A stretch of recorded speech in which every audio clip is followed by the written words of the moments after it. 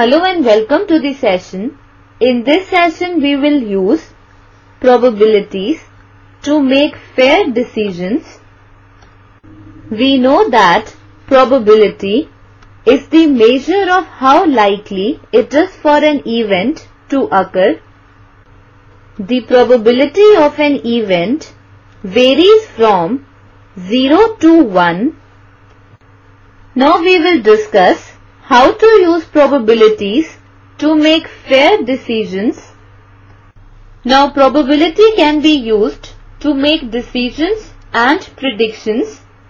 We can use the probability of an event occurring to set up a proportion to find the number of times an event is likely to occur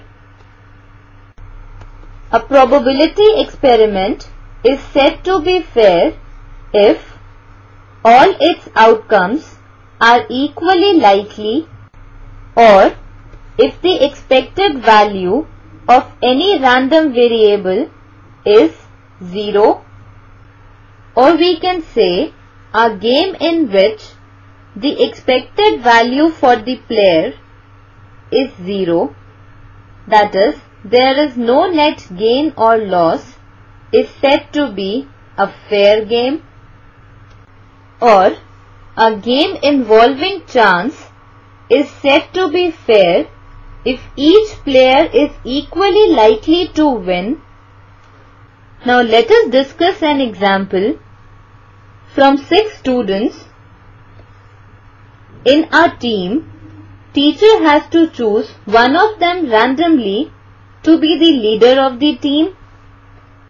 Now, teacher A's plan is assign each student a number, then spin this given spinner with six equal sectors.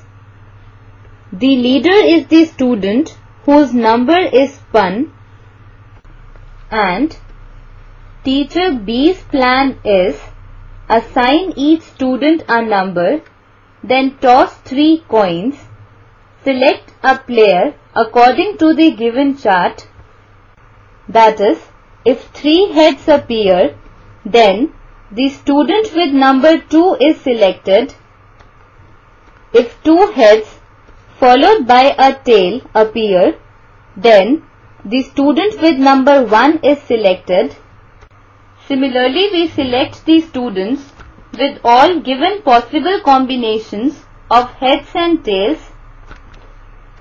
Now we shall check whether both the plans can be considered to be fair. First of all, let us check teacher A's plan for fairness. Here we are given a spinner with 6 equal sectors that means each sector has equally likely possibility. So here the probability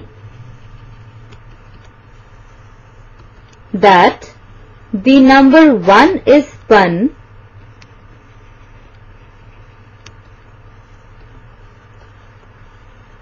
is equal to 1 by 6 as the number of favorable outcome will be 1 and Total number of outcomes are 6. So probability that number 1 is spun will be equal to 1 by 6. Similarly, probability that number 2 is spun is equal to 1 by 6. Probability that number 3 is spun is equal to 1 by 6. Probability that number 4 is spun is also equal to 1 by 6 probability that number 5 is spun is equal to 1 by 6 and the probability that number 6 is spun is equal to 1 by 6. This means each student has equal chance of selection as leader with probability of 1 by 6. So, teacher A's plan is considered to be fair in the selection of a leader. Now we check teacher B's plan for fairness.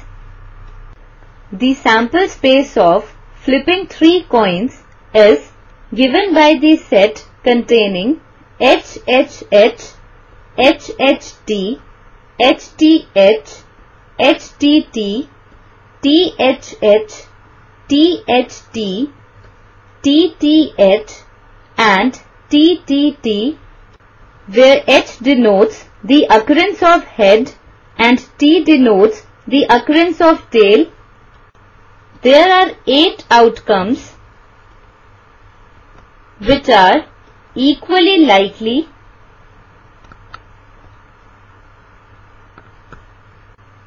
From the given chart, we see that the number of favorable outcomes for student 1 is 2. So student 1 has probability 2 upon 8.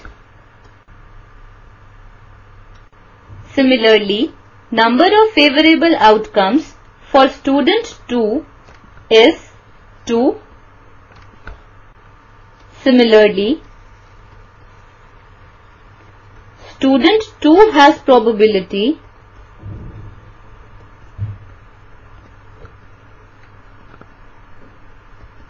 that is 2 upon 8 and rest all other players have one outcome so they will have probability of 1 by 8 each.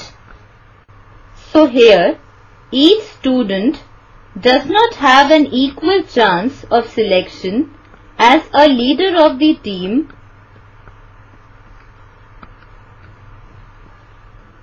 Therefore, teacher B's plan cannot be considered to be fair in the selection of leader.